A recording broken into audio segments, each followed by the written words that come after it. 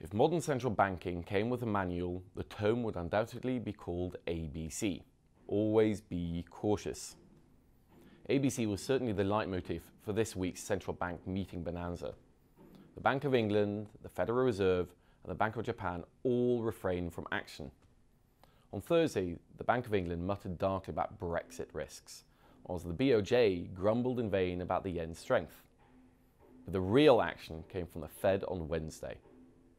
Now, investors had expected a cautious stance after a woeful jobs report and with a nerve wracking UK referendum on EU membership on the horizon. But some thought that policymakers would hint that a July rate increase was a possibility. And instead, the Fed served up a cautious statement, pessimistic forecast, and a strikingly guarded press conference. The 10 year Treasury yield has duly dropped to its lowest level since August 2012.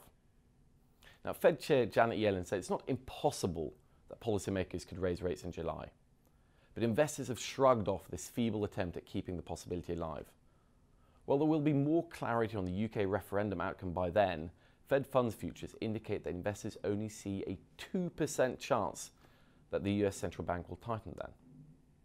What is even more remarkable is that markets are implying that there is a two thirds chance that the Fed is paralyzed for the rest of the year. The last time investors were this downbeat on US interest rates, in February, global markets were in the dumps.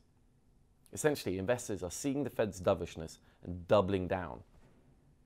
And as outspoken bond fund manager Jeff Gundlach said, the rate hike cycle has left the building. Now, perhaps that's true, but remember, a majority of policymakers still think the Fed should raise interest rates at least twice this year and three more times in 2017. And despite the weak May jobs report, the labour market remains strong, the economy relatively resilient, and the inflation forecasts were actually raised. The Fed may be cautious, but it's not catatonic. And given depressed yields, even a small shift in rate expectations could deliver a shock to the sparsely traded summer markets. This is Robin Wigglesworth for the Financial Times.